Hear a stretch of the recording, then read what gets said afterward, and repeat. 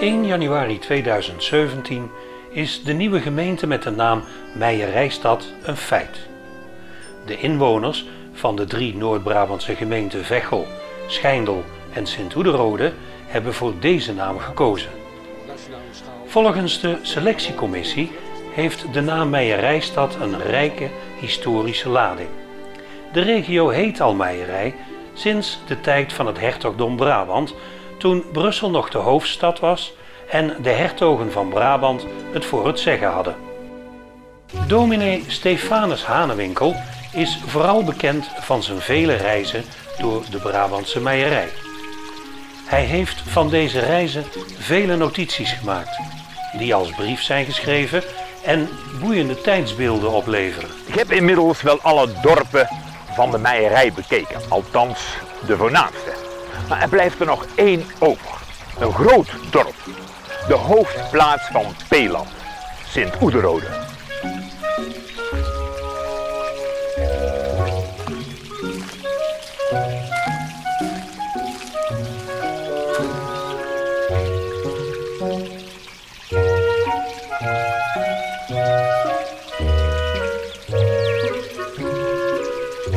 Aan de rechteroever van deze beek staat een fraaie parochiekerk, van oudsher gewijd aan Sint Martinus. Daarom wordt deze kerk ook wel Sint Maartenskerk, of ook Knoptoren genoemd. Mijn wijdse blik is duidelijk milder dan die van de inwonende Paapse koster Brok. Die weet deze vlek enigszins denigrerend te omschrijven.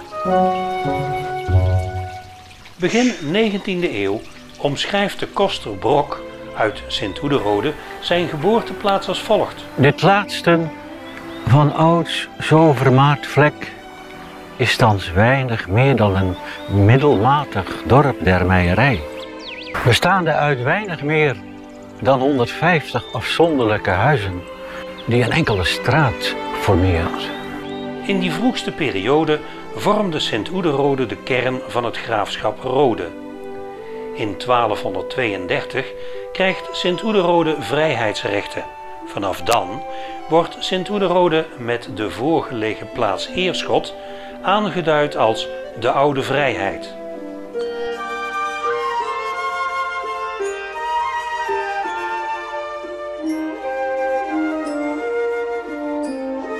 Heemkundekring De Oude Vrijheid bezit een unieke collectie mutsen, poffers en mutsversieringen.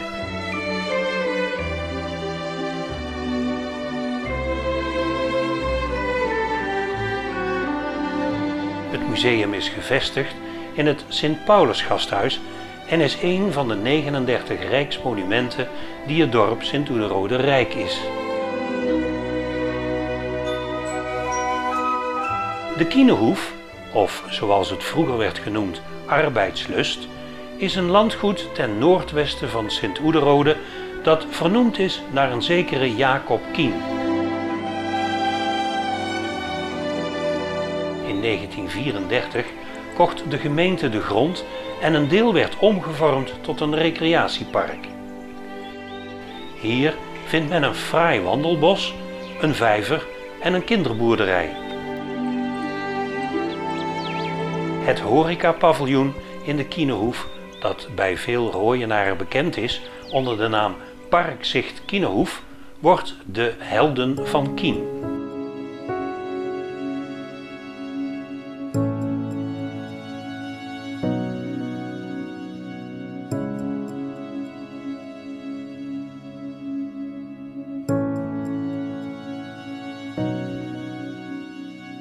Maar in Sint-Oederode bruist er meer.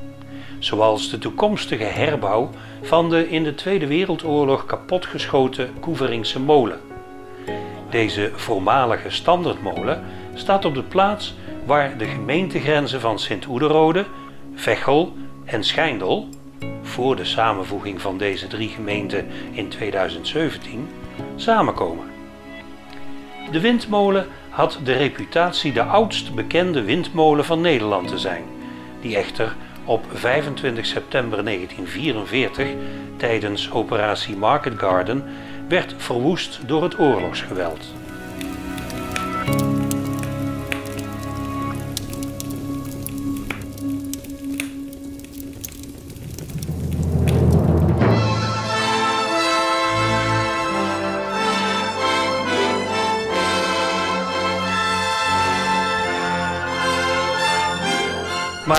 Er werd meer verwoest in Sint-Oederode. Eeuwen eerder, in 1583, bij de inval van de staatse troepen tijdens de 80-jarige oorlog, werden de knoptoren en de kerk in de as gelegd. Alleen de stenen romp bleef staan. Pas tijdens het 12-jarig bestand, van 1609 tot 1621, werd er bij de herbouw een peervormige knop aan de toren toegevoegd. Tijdens een zware storm op 9 november 1800 brak deze knop van de torenspits. Zes jaar later, in 1806, werd de spits voorzien van een lantaarn, maar de 55 meter hoge kerktoren wordt nog steeds knoptoren genoemd.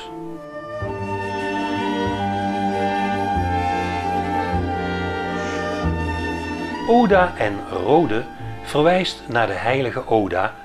Volgens de legende was Oda een Schotse prinses die rond 715 bij het graf van Sint Lambertus in Luik op wonderbaarlijke wijze genezing vond voor haar blindheid. Om de vluchtigheid van mythische vertellingen te conserveren, maakte Christian Zwaneke bij de Knoptoren een kapel vervuld van kwetterende eksters.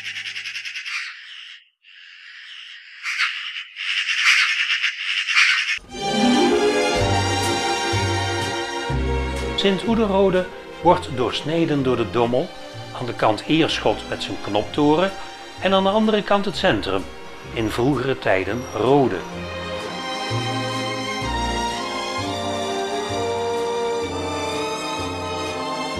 Deze twee kernen worden met elkaar verbonden door de Hambrug.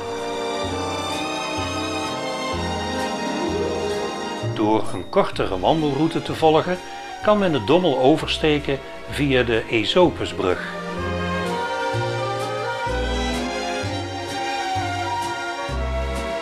Deze brug ligt op een historische plaats, namelijk precies op de plek waar eeuwenlang de sluiswiel met zijn brugje heeft gelegen.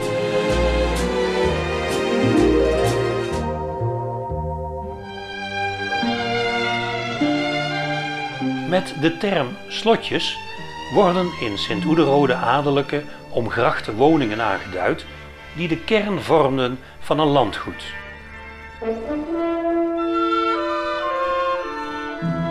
De eigenaars van de landgoederen met een omgrachte woning waren in veel gevallen leenmannen van de hertogen van Brabant.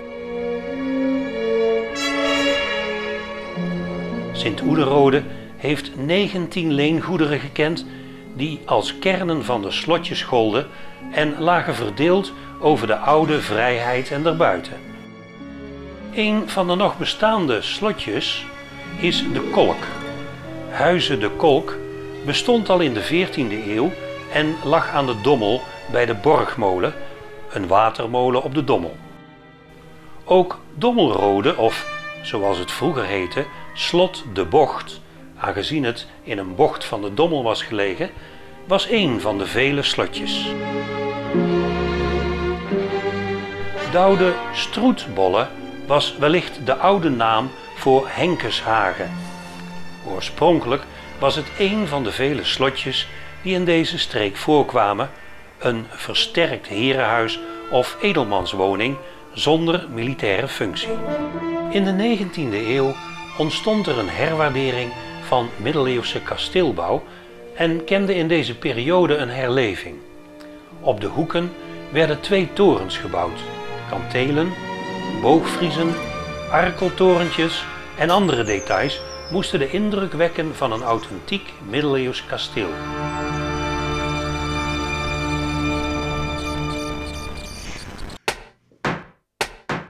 De smid Harry van de Kamp begon hier in 1905 zijn smederij, die uitgroeide tot de BV Oda Staalwerk en in 1967 werd opgenomen in de Arendgroep. Het Smederijmuseum is gehuisvest in een zeer karakteristiek pand en heeft alles wat een Brabantse smid in het begin van deze eeuw gebruikte. Vroeger deed je de knecht, hè? dat die mooi vlak uh, blijft. En als hij dan zo heet is, dan pakken ze met deze tang. Zo. En dan kunnen ze hem passen onder de hoef van het eh, paard. En dan krijg je die stank die je vroeger heel veel rook. Twee jaar geleden is deze hoefstal gerestaureerd volledig door Smit Bert. En ehm, het paard kreeg hier zijn stukje maatwerk aangeleverd vanuit de smederij. Harry van de Kamp had een visie, want hij wilde iets meer worden als smid. Hij wilde groter worden. Hij is tafels gaan maken, hij is kasten gaan maken. En hij is aan de andere kant van de straat is hij verder gaan bouwen aan een fabriek. Oh, wat hoor ik? Het carillon gaat starten. Het is 12 uur.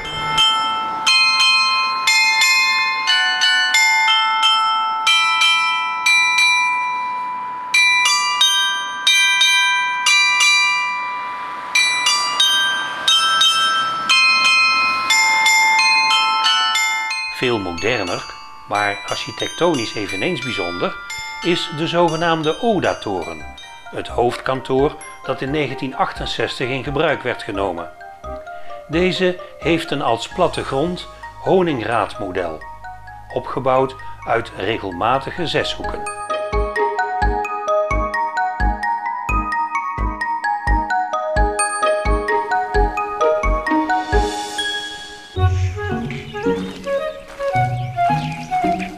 Na twee uur gewandeld te hebben, zie ik eindelijk de kerktoren van Erp.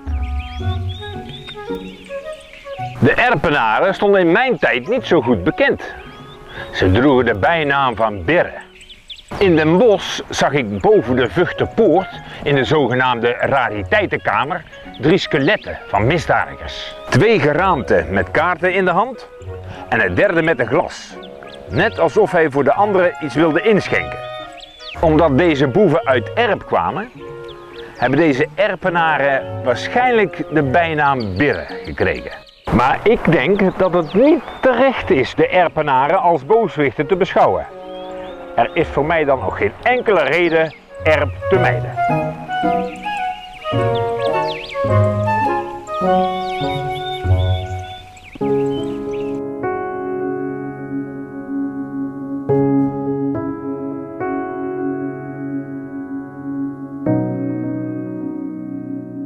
De kom van Erp bestond in het begin van de 20e eeuw uit twee kernen.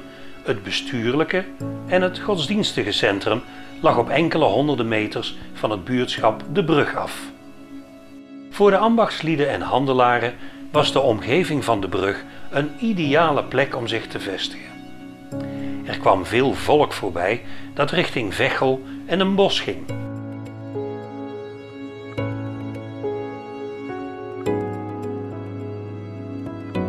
Omdat de watermolens in de zomer vaak een tekort aan stromend water hadden, was er aan het molentiend al in de 15e eeuw een windmolen opgericht.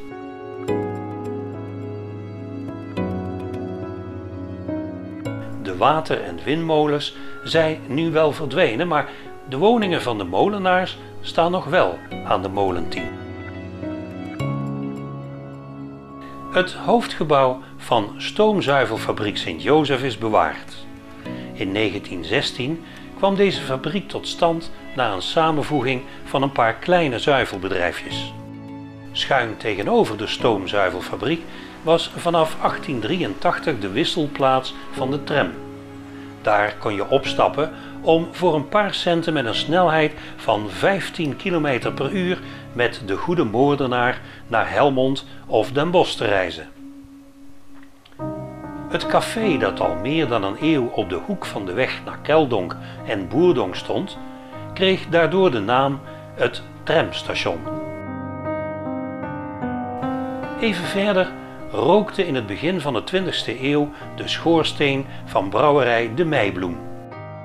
Op de hoek van de Hezelstraat en Den Uil staat nog de voormalige tabakskerverij De Peelboer van Adrianus van den Broek. Heel wat bewoners van de streek genoten van de tabak die hij verkocht. De slogan op zijn tabaksbuilen luidde: De troost bij het werk is dit merk. Het raadhuis van Erp werd in 1791 gebouwd. De bokstelaar Hendrik Verhees ontwierp het pand in een stijl die toen mode was, het klassicisme. Toen Erp in 1789 van de Staten-Generaal het recht kreeg om een boterwaag op te richten, was het besluit snel genomen.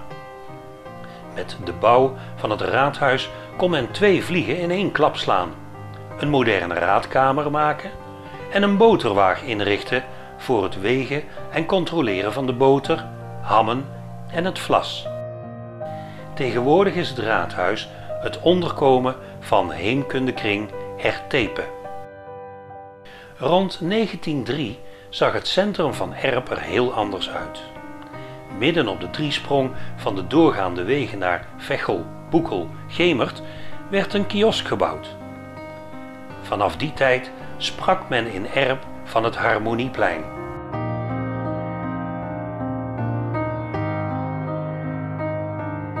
Achter de huidige pastorie woonde tot 1808 Benjamin de Jong, de heer van Frisselstein en Beek.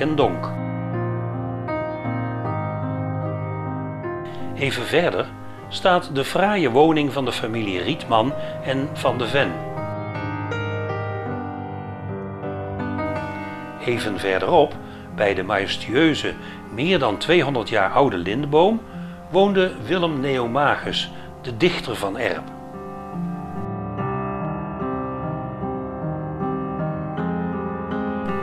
Andere kant van de weg ligt het fraaie herenhuis Huizen Beukenrode. Notaris Antonie Meijer wilde als notabele op stand wonen. In 1843-1844 is de huidige Sint-Servatiuskerk gebouwd. Na de blikseminslag in 1896 ontwierp de bekende architect Pierre Kuipers de huidige torenspits. Zo'n fraaie bekroning van een toren vind je nergens in de regio.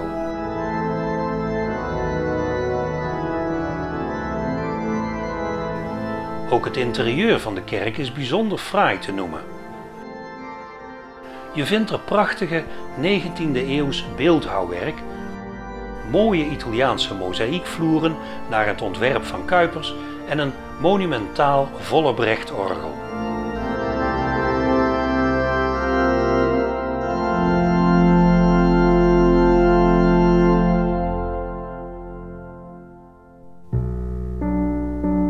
De belangrijkste straat in Boerdonk is de Pastoor van Schijndelstraat. Deze is genoemd naar de bekendste pastoor van Boerdonk, Gerard van Schijndel. Hij stichtte de Nederlandse missiecongregatie de Missiezusters Franciscanessen van de heilige Antonius van Padua. Ter herinnering aan deze zusters hebben de Boerdonkenaren in 2015 een Franciscaanse kloostertuin ingericht. Achterin de tuin staan twee zusters in kortenstaal. Vlakbij de kloostertuin is al in 2008 de 18e eeuws Lemen Corneliuskapel verkleind nagebouwd. Daarin staat een replica van het oude beeld van de heilige Cornelius met de hoorn. Het origineel staat in de kerk van Erp. Voor de Boerdonkenaren was Cornelius een belangrijke volksheilige, want hij beschermde het hoornvee tegen ziektes.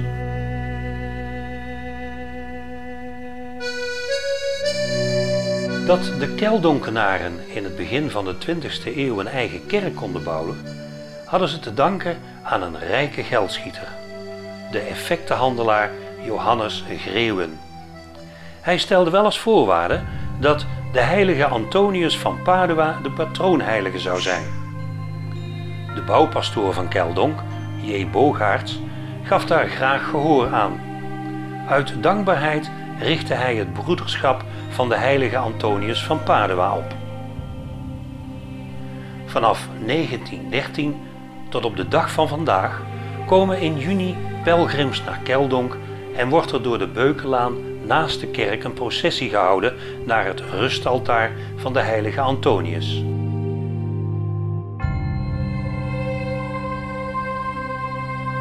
In 1931 werd de eerste steen gelegd voor het klooster met kleuterschool Sint Johannes. Pastoor Bogaarts nodigde de zusters van het kostbare bloed uit om hun intrek te nemen in het klooster. Ook werd er tegenover de kerk een café gebouwd waar de mannen na het zondagse kerkbezoek een borrel konden drinken. Met de aanleg van de Zuid-Willemsvaart kwam er veel vreemd volk in Keldonk. Soms zorgden zij voor veel onrust in het kleine Brabantse dorpje. Maar het café verdiende goed aan deze polderjongens. Het beeld van de kanaalgraver herinnert ons aan deze tijd.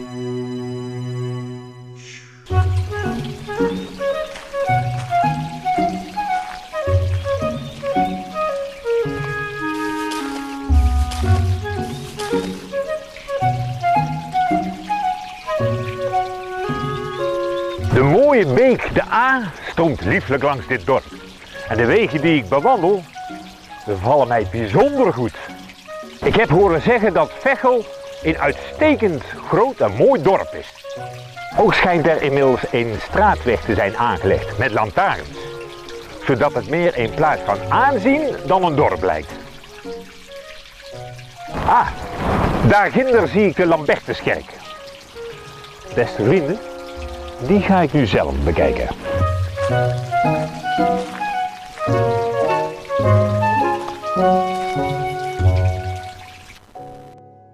Deze Zuid-Willemsvaart werd in vier jaar tijd gelijktijdig met de aanleg van een binnenhaven bij Veghel met de hand gegraven en zorgde ervoor dat de bebouwde kom van Veghel daarmee werd verbonden.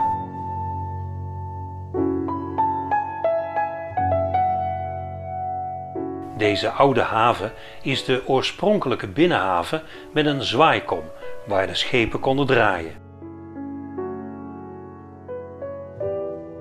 In het begin waren de schepen die op de Zuid-Willemsvaart gebruikt werden klein. De bootjes werden door een paard of enkele mensen op een jaagpad voortgetrokken. Dus erg snel ging het niet. Maar het vervoer over het water kon wel voor een groot deel van het jaar doorgaan. Als je als bedrijf zeker kunt zijn van aanvoer van grondstoffen, is dat een mooie plek om je te vestigen.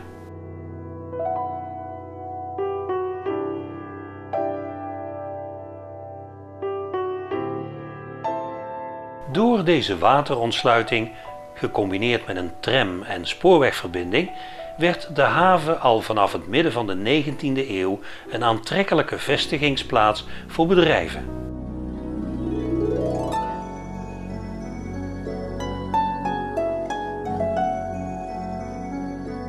Ook kwam er een bedrijf die het vervoer over water ging regelen.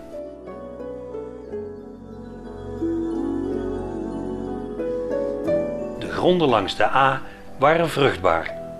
Boeren hadden gezonde koeien en de kalveren brachten goed geld op. Op de markt en vooral aan de haven ontstonden verzamelplaatsen voor kalveren. In Veghel werden dat kussen genoemd. Vandaar later de naam Kussegat tijdens carnaval. Maar de ontwikkelingen bij de haven stonden niet stil. Vooral toen de boerenorganisatie NCB in 1915 besloot om aan de noordkant van de haven een mengvoederfabriek te gaan bouwen. De coöperatieve handelsvereniging CHV. Ook kwam er in 1916 aan de Noordkade de eerste graansilo ontworpen door architect Wiebinga. In de winter vroor de Zuid-Willemsvaart regelmatig dicht. De graanschepen konden dan de CHV niet bereiken. Om toch over voldoende graan te kunnen beschikken, bouwde men in 1963 grote, ronde, betonnen silo's vlak langs de haven. Ook melkverwerkingsfabriek De Meijerij Veghel, DMV, zag goede mogelijkheden aan de haven en bouwt er een fabriek. Het gebied wordt te klein en begin jaren 60 komt er nog een haven bij aan de andere kant van het kanaal richting Eerde. Rond 1875 kwam door Veghel een spoorwegverbinding, het zogenaamde Duits lijntje van de Noord-Brabants-Duitse Spoorwegmaatschappij, kortweg de NBDS, met een speciale aftakking naar de haven.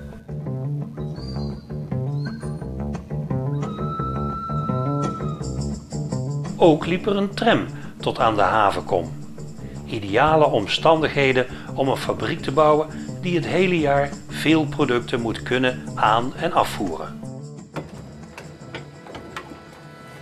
Zo had de familie van Hout in 1895 een houtzagerijmolen aan de Zuidkade en rond 1930 een moderne stoomklompenfabriek aan de Schijndelse dijk in Dorshout, de huidige NCB-laan. De gemeente Veghel en Schijndel hebben een spoorwegstation gehad aan het Duits lijntje.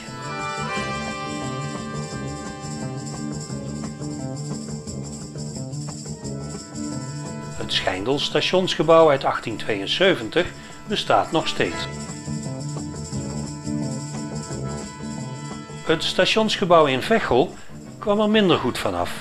Het was eigenlijk de bedoeling om alleen maar de twee wachtgebouwtjes te slopen, maar is per ongeluk helemaal gesloopt.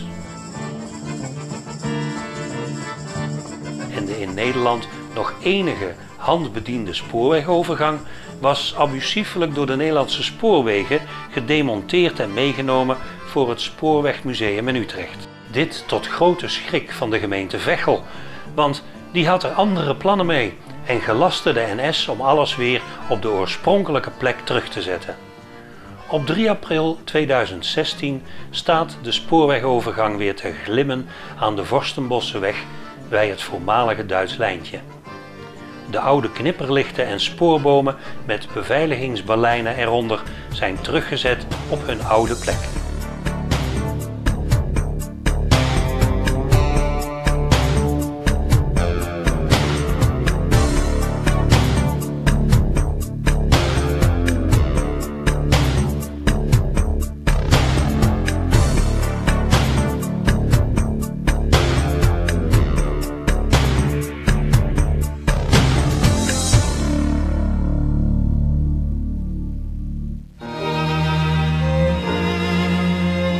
Aan het huis dat Antoon van Hout in 1907 liet bouwen, is te zien dat de zaken toen goed gingen.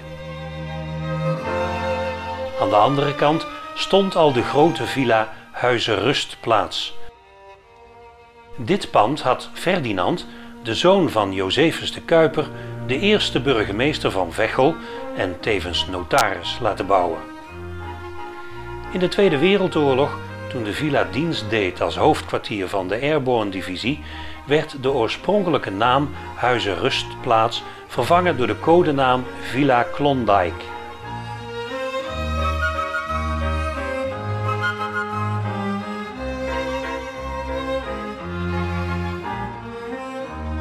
Ook in de hoofdstraat stonden enkele panden die de notabelen uit die tijd lieten bouwen.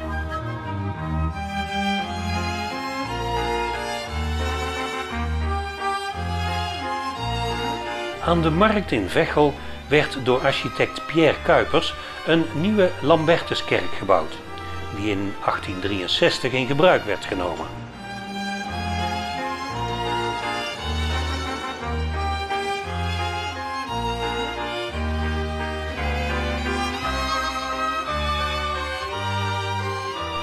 Op de plaats van het oude kerkje werd er in 1877 een statig neo-klassicistisch raadhuis gebouwd.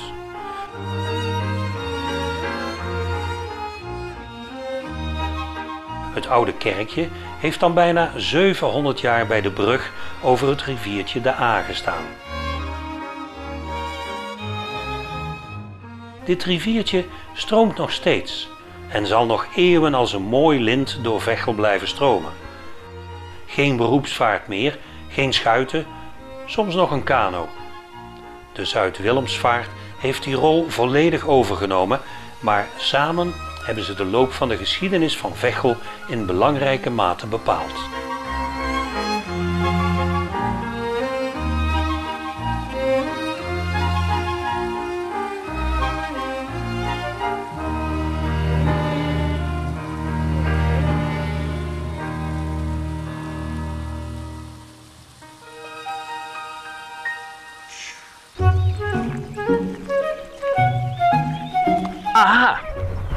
In de verte ontwaar ik de kerktoren van Schijndel.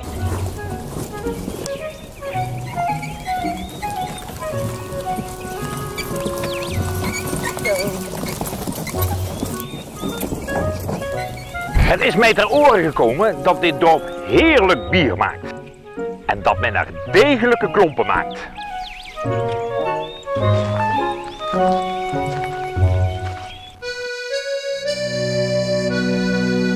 Het dorp Schijndel is bekend van zijn drie K's.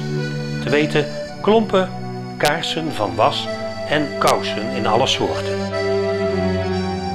Op 1 mei 1916 werd in Schijndel de eerste steen gelegd voor de kousenfabriek Janse de Wit.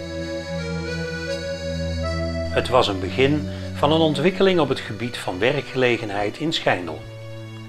Wie werkte er niet bij de sok, zoals de fabriek werd genoemd? Ter gelegenheid van de viering van het 125-jarig bestaan in 1955 kreeg de fabriek toen het predicaat Koninklijke voor haar naam.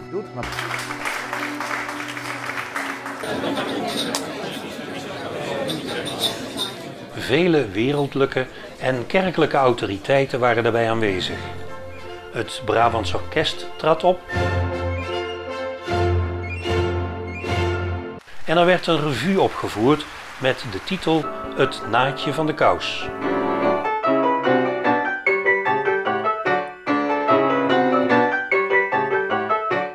In 1985 zijn de bedrijfsactiviteiten beëindigd en daarna zijn het kantoor en de bedrijfsgebouwen gesloopt.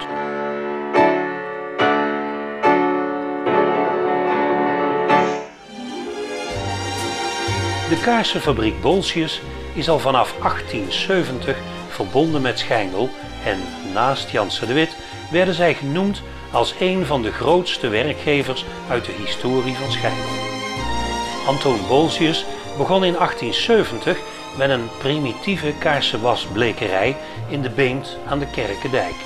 De kaarsen die gebruikt worden bij de eredienst in de katholieke kerk zijn gemaakt van bijenwas. Deze was heeft van nature een bruin-gelige kleur. De kerk wil echter witte kaarsen. Om de bijenwas een wittere kleur te geven, wordt deze gebleekt, vandaar de naam wasblekerij. Ter gelegenheid van het 125-jarig bestaan heeft Bolsius dit 2 meter hoge bronzen beeld, Vrouw met Blaker, aan de gemeente Schijndel geschonken. Binnenkort wordt begonnen met de nieuwbouwplannen waarin de cultuurhistorische gebouwen, zoals de vroegere dienstwoning, zijn opgenomen. Zo wordt recht gedaan aan de lange en rijke historie van dit bedrijf.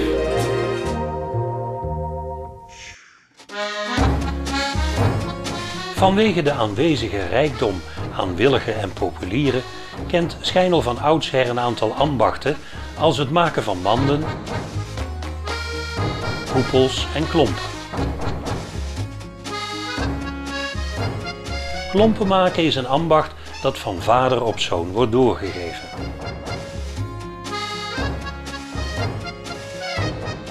De stam werd verzaagd en in stukken gekloofd die net groot genoeg waren om er een klomp uit te kunnen maken.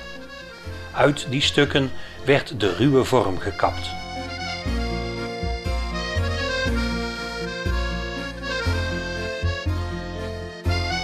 Op het snijpaard worden met het paalmes de contouren steeds duidelijker en dan is de buitenkant voor zover klaar en worden de klompen uitgehold in de heulbank.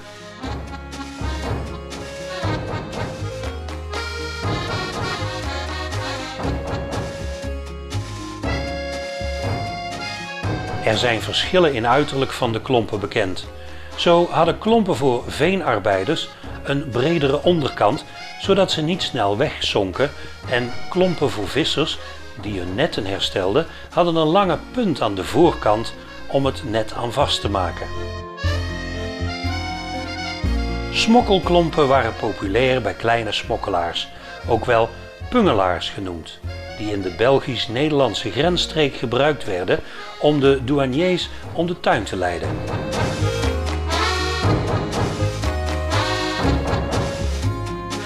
In het begin van de 20e eeuw werd de klompenmachine uitgevonden. Hierbij werd de klomp op mechanische wijze vervaardigd door gebruik te maken van een mal. De klompenmakerij van Henny van Kaathoven is een van de laatste van Brabant en valt zeker onder het begrip cultureel erfgoed.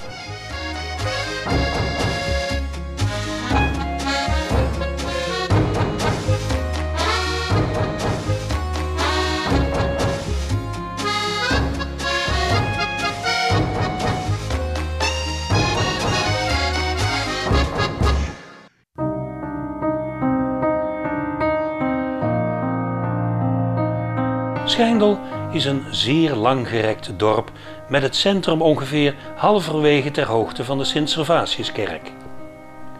In deze neogotische Sint-Servatiuskerk uit 1839 bevindt zich de grafzerk van de zeeheld Jan van Amstel. Hij streed aan de zijde van Tromp en de Ruiter in de Tweede Engelse Oorlog van 1665 tot 1667. Maar ondanks deze totaal andere wereld bleef hij denken aan Schijndel, waar hij in 1667 een huis kocht dat de Stenen Kamer werd genoemd. Op de plaats waar het huis de Stenen Kamer heeft gestaan, werd op 29 juni 1897 een monument voor Jan van Amstel onthuld. In 1969 is dit monument verplaatst naar een parkje tegenover het Lidwina-complex.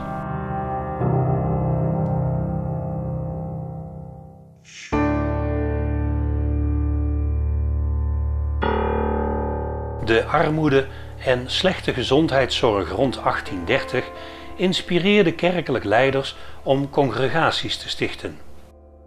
Op het gebied van zorg heeft de Schijndelse congregatie Zusters van Liefde een geweldige prestatie geleverd door aan de Jan van Amstelstraat een ziekenhuis met kapel te bouwen dat in 1934 in gebruik is genomen.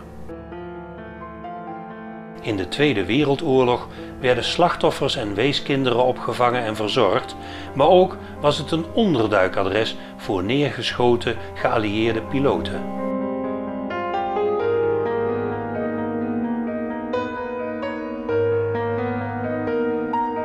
Huizen Lidwina is nu een appartementencomplex. De voormalige kapel kreeg de naam Het Gasthuis. Dit is nu een ontmoetingsplek voor bewoners van Schijndel.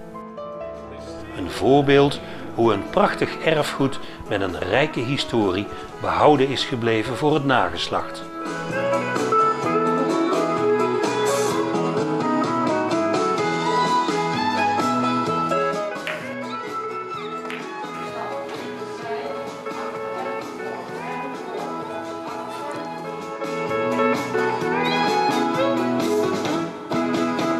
De hopteelt zorgde voor het floreren van tal van brouwerijen in Schijndel.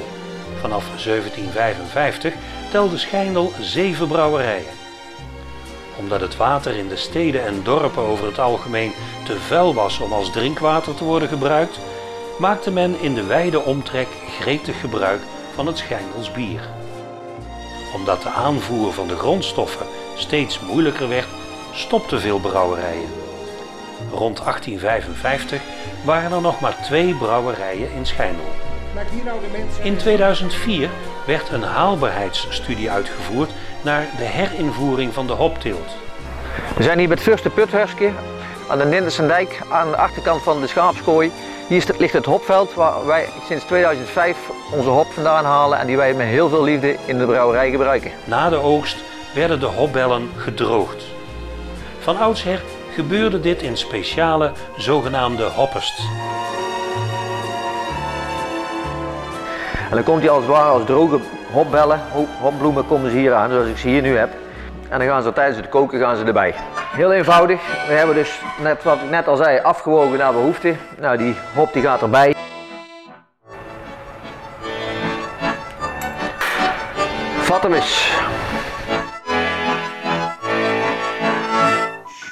Met de komst van de nieuwe burgemeester Gerard Scholten in 1976 kreeg Schijndel ook kunst in de vorm van schilderijen en kunstwerken, niet alleen in het museum Johan Heestershuis, maar ook verkeersrotondes, werden met kunst opgepimpt. Het aantal kunstwerken van de beeldenroute is inmiddels de 100 gepasseerd. Een van de laatste en meest indrukwekkende vorm van kunst is de glazen boerderij. Dit gebouw is een 1,6 keer uitvergrote gemiddelde Schijndelse boerderij met een oppervlakte van 1600 vierkante meter en huisvest winkels, restaurants, kantoren en een sportschool. Het gebouw is ontworpen door de Schijndelse architect Winnie Maas. Archeologisch onderzoek van de afgelopen jaren leert dat in de bodem nog vele boeiende sporen uit het kleurrijke verleden van Schijndel te vinden zijn. Aan de Hoofdstraat Groeneweg in het centrum zijn resten gevonden van een bierbrouwerij uit de 17e 18e eeuw en een nog oudere complete bierkuip. In 2003 had nog een opmerkelijke vondst plaats. Bij een verbouwing van een oorspronkelijk laat-middeleeuwse boerderij werden twee potten met munten gevonden. In dezelfde boerderij was zo'n 40 jaar eerder ook al eens een pot met munten aangetroffen. Eh, eh, de tweede pot. En toen zeiden we, nou, dan moet dan ook misschien nog wel een derde pot zijn. Wij, achter mij daar, is de derde pot gevonden. Want hoorden echt bij elkaar, die drie eh, potten. En deze munt, dat is een Servonets, noemen ze dat. Dat is een, uit 1712, een Russische munt van Peter, die Peter de Grote afbeeldt. Eh, we hebben in een totale schat van 240 munten hebben we eh, een stuk of 20 gouden munten zitten. En dat was, in, eh, ja, dat was dus in 2003.